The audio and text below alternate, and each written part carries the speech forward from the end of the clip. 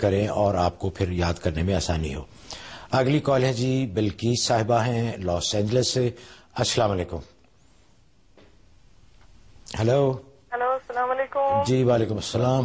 محمود عباس صاحب کو بھی السلام علیکم اور مفتی صاحب کو بھی ہمارا بہت بہت سلام۔ وعلیکم السلام فرمائیے۔ مجھے یہ بتانا تھا کہ میں شکریہ ادا کرنا چاہتی ہوں مفتی صاحب کا بھی کہ انہوں نے کسی کے کسی کو وظیفے بتائے تھے جو میں نے آزمائے ان کی اجازت تھی۔ جی جی۔ اور بہت ماشاءاللہ فائدہ ہوا ہم کو۔ اللہ تعالیٰ ان کو بہت جزائے خیر دے اور ان کا فیض ہم پہ جاری رہے۔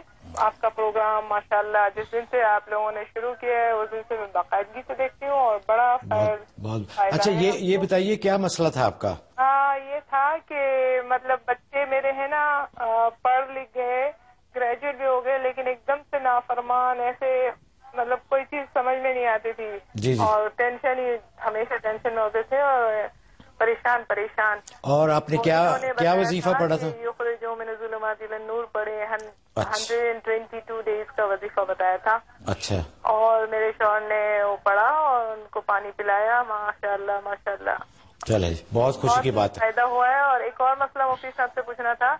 کہ میرا بیٹے کو ہے نا جاب کے لیے کوئی اچھا سا وظیفہ بتا دیں تاکہ اس کو اچھا۔ بہترین جاب مل جائے۔ جی بہت اچھی بہت بہت شکریہ آپ کا۔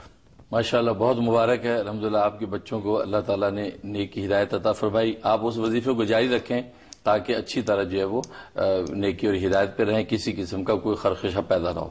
باقی جاب کے لیے یا وہابو یا وہابو چودہ سو چودہ دفعہ عشاء کے بعد پڑھیں، اول آخر چودہ دفعہ دروشیف یہ آپ سیونٹی ون ڈیز کر لیں، انشاءاللہ ان کو اچھی جاب مل جائے گی۔ اور جو بچوں کی حالت میں بہتری آئی ہے، اس کے لیے دو رکعت نماز شکرانہ ادا کر لیں اور حسب توفیق غربہ میں صدقہ تقسیم کر دیں۔ انشاءاللہ نعمت یہ قائم رہے گی۔